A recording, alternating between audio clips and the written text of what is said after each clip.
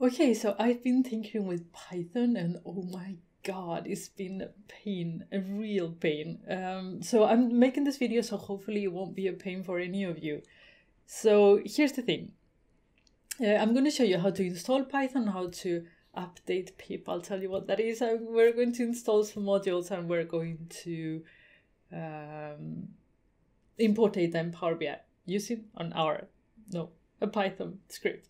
So let's get started. Uh, the first thing you need to do is just to download Python. So you just search on your browser Python download. It will take you here. And then you go to download the latest Python version if you want something else. Pick something else. But if you want something else, you probably don't need me. Um, you can go here in Windows. The, the big yellow button is basically what you want for Windows. But you can come here and you have other download types. Okay, so otherwise you just go here, boom, this download button will take you where you need to go, and it will install. Um, it will download one of these files. Now I have already Python installed. Okay, after a lot of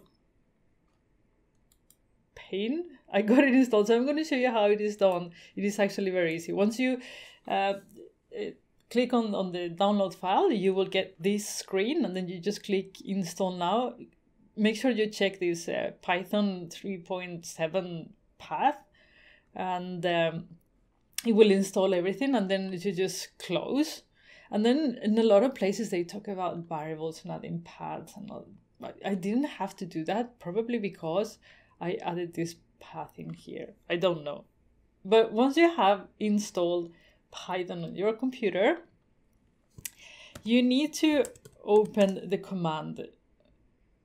And this is where you will work from. And uh, first of all, to know that Python has been installed correctly, you go here and you go Python.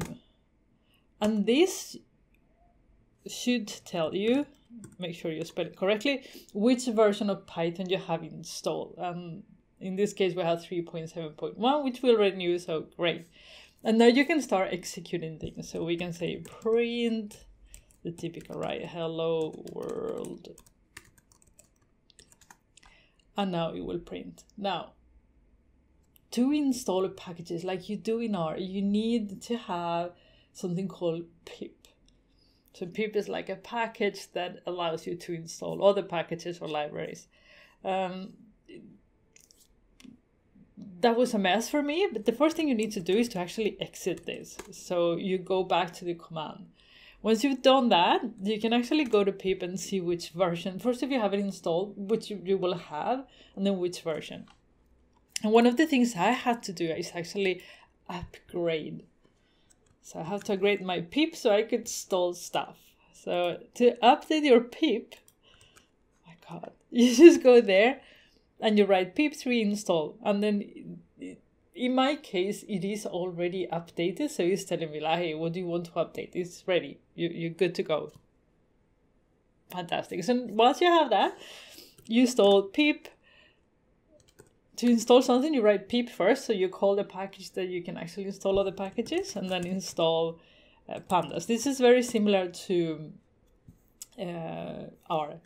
And then you click enter and it says requirement already satisfied because I already have pandas, but that's how you would do. You will go to the command box, you'll write pip, install, and then your package, whatever that is called. And then you put it in there and then you get it installed. Okay? So now you can install any package you want to run any script you want. Good. Let's go to Power BI. And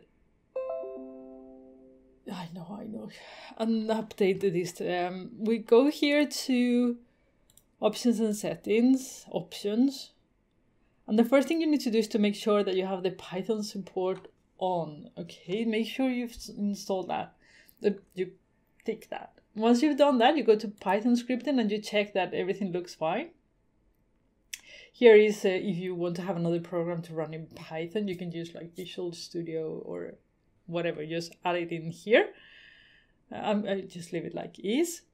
And now we can actually run some scripts. So what I am going to run is the example that is in here. Run Python scripts. I will put the link down below.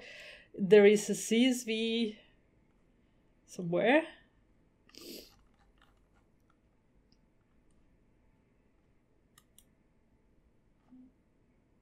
Here. I will put this link below. So you can download this file and then we're going to import it into Power BI. And for that we write uh, Python script connect and this is how we import something if you want to try this exact same example you need to have a library called matplotlib just warning you otherwise it won't work learn the hard way so data is the name of the variable, and then this is the command that will actually go to this place where I have a CSV file that is not here. That's not good.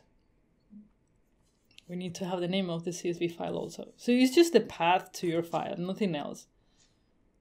Um, so copy that, go in there, and I add it here. Make sure that you have you know the right backslash in here. So normally if you copy it will go be that way. You need to change it that way. And then you put the csv file. And once that is done you click ok and hopefully fingers crossed you don't get a nasty error. And voila you have your python script to load a csv file. I know it's, it's silly example but hey, this is to install Python. There you have the data. And now you can clean it in Python and do all kinds of magic. But uh, I hope this video is useful. I lost few hours on this and it annoyed the heck out of me. So I don't want you to lose a few hours. It's know that I lose them. So enjoy the video and I'll see you again tomorrow. Bye. So hello there, do you know that I publish Power BI videos every Monday, Wednesday and Fridays? So make sure you hit the subscriber button and the bell to receive notifications every time I do that.